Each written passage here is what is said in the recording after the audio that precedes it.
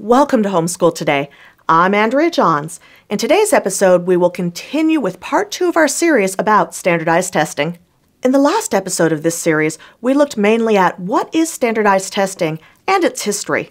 In today's video, we are going to take a look at some of the pros and cons of standardized testing. This will give you the information that you need to be able to understand the testing process and to be better prepared to determine if and how your family will use standardized testing in your homeschool. The purpose of standardized testing is to assess the academic achievement of students. This testing is a way for schools to compare the achievement of students across a wide variety of different environments. The test evaluates the skills that the developer of the test expects students to learn at certain grade levels. Once the testing is complete, the data is compiled and it looks at student performance on the test from different perspectives.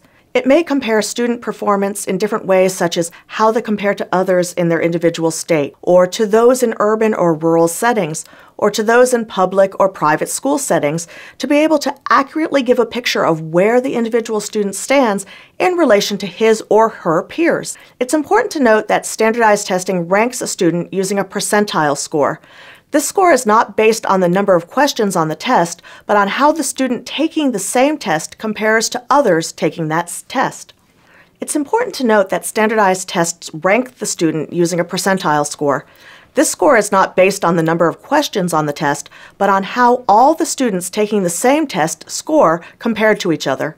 A student scoring in the 50th percentile would be smack dab in the middle of the tester scores, 49% of the students taking the same test answered more questions correctly than the student in the 50th percentile, and 49% of the students answered less questions correctly. School districts use this information as an evaluations tool, if not just for the students, but for the teachers and schools as well. Now that we have clearly defined standardized testing, let's take a look at some of the testing pros and cons. It's important to note that these pros and cons are things that I have been told, read, or experienced over my years of homeschooling. There are most certainly many more pros and cons to testing that I'm just not going to cover in this video. The list is by no means exhaustive. It's just a starting point for you, the homeschooling parent, to start thinking more about standardized testing. Let's first talk about a few pros of standardized testing. At their core, standardized testing is designed to be an objective measure of what a student truly knows. They assess each student based on a similar set of questions given under nearly identical testing conditions and are graded by a machine to ensure fairness. Standardized tests are given to provide an accurate measure of what a student has learned over the course of the last year. Standardized tests make learning measurable. Schools can use the data to evaluate their curriculum choices and its effectiveness in educating their students. This allows them to make changes and adjustments to provide students with the best education that is possible.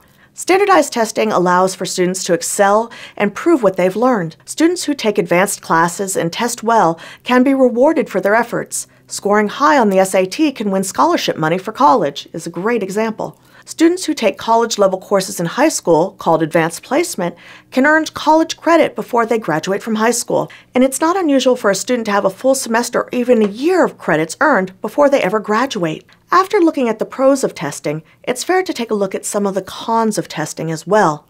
Standardized testing may not be an accurate representation of a student's ability. Students can have a clear understanding within a subject or concept, but aren't as skilled at taking multiple choice tests as their peers. This can be very hard on a student who performs lower in the percentile than they, their parents, or their teachers would have expected based on their performance in school. Standardized test scores don't give a true measure of a student's ability. Many people wrongly assume that standardized testing data provides a valid assessment of a child's intellectual ability. When in truth, things like test anxiety, being unfamiliar with test taking methods, being sick, not getting a good night's sleep, and even just having a bad morning can negatively impact a student's scores. When standardized tests become too important in a school or a district, it has a massive impact on the teaching and learning. Educators frequently start teaching to the test. The fear that their evaluation and even their jobs depends on how well students perform on a single test causes teachers to stop teaching for the love of teaching and negatively impacts the entire classroom environment. Whether you think the pros outweigh the cons, or the cons outweigh the pros, most will agree that testing serves a purpose. While standardized tests may have purpose, the following questions should certainly be asked even by those who are proponents of the tests themselves. Are the tests necessary? And if so, at what age should they be given? Are the tests truly an accurate measure of what the student knows? Are the tests biased based on social class, ethnic, regional, or cultural differences? Are the tests fair when some students can afford extensive test prep and others can't afford any at all?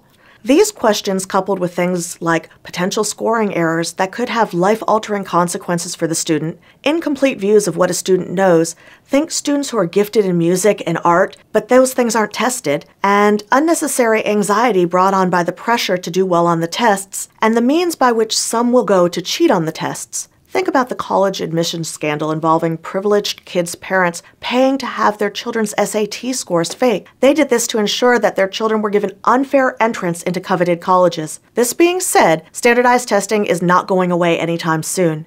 regardless of your stance on standardized testing, you may be required to test when you are homeschooling.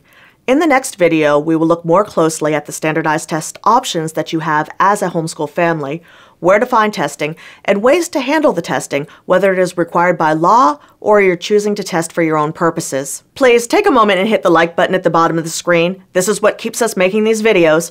Also, click the subscribe button and the bell so you'll be notified as new videos are released. As always, thank you for watching, and until next time, happy homeschooling. Today's episode has been brought to you by Homeschool Today with Andrea Johns